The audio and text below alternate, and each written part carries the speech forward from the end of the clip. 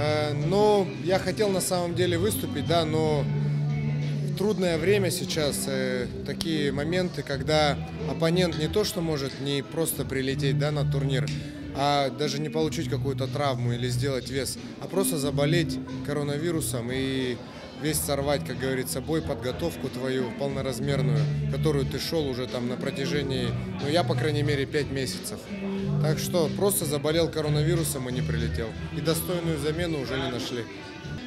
Ну, на самом деле, э, могу сказать, что эта лига, посмотрев и на другие да, лиги, э, не, как говорится, лидирующих, да, условно говоря, что очень хорошая там э, репутация и так далее, тем более там очень много земляков, которые много меня тут поддерживают, фан-группа. И могу сказать, что ну, мне нравится, есть свои какие-то определенные условия, которые я не могу сказать, да, что мне тут подойдет именно в этой организации.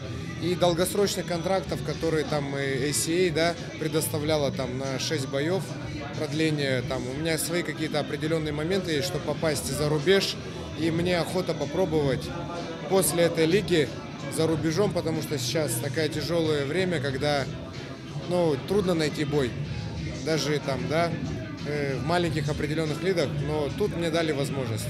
Ну, надеюсь, иншаллах, какие-то планы есть на этот турнир, да, мне уже сказали заранее. Если, как говорится, не произойдет что-то критичного, можно запросто выступить, подраться.